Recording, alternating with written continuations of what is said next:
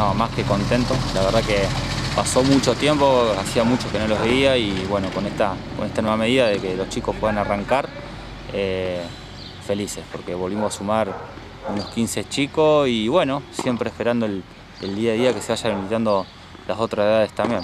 Bien, como aquella vez que nos vimos en, en junio cumpliendo con eh, estrictas medidas de protocolo. Exactamente igual. Eh, me parece que esto va a seguir para rato, así que estamos siempre con, todos los cuidados, con todas las distancias, eh, con la llegada a la hora puntual, con barbijo, con todo, todos los elementos para lo que es desinfección de manos y todo eso. Así que bueno, teniendo todos los chicos controlados, digamos, que es lo mejor que les puede pasar a ellos Seguro. y ni hablar a los papás, saber que están en el club y, y bueno, trabajando de la manera correcta. Bien, y Nico, decime, eh, ¿están manejándose con días, horarios?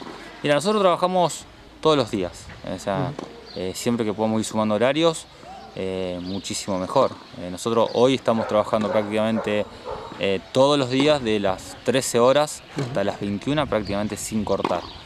A medida que seguramente si en algún momento llegan a habilitar a los más pequeños, seguramente se va a ir habilitando también a la mañana.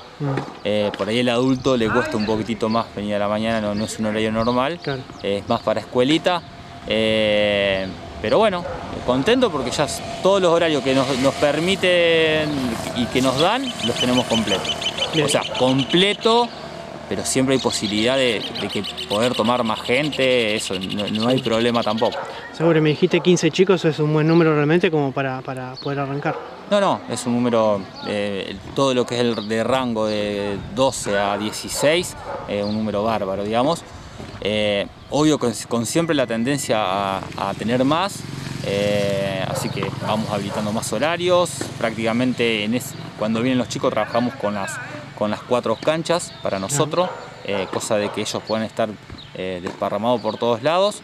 Y, y bueno, seguimos sumando, seguimos sumando y de a poquito vamos volviendo a, lo- a los números de, de principio de año. Seguro. Nico, eh, por ahí si algún chico, algún padre justamente está escuchando la nota y por ahí quiere que su chico venga a practicar tenis aquí, ¿cómo tiene que hacer? ¿Con quién se tiene que comunicar? Mira, puede ir a, a, por ejemplo, a la gerencia del, del club, que ahí están, están los chicos, de eso le pueden brindar el número, o directamente pasan por el club, me van a encontrar. Yo estoy prácticamente todo el día acá. Eh, hasta las 9 de la noche, que es donde tenemos que cerrar, estoy todo el día. Así que si quieren pasar por el club para que les informe dos minutitos, o pasar por secretaría, que le den mi número y nos manejamos por WhatsApp, que sería por ahí lo más correcto por, por lo que es el protocolo. Claro. Eh, lo espero a todo el que esté interesado en hacer la actividad.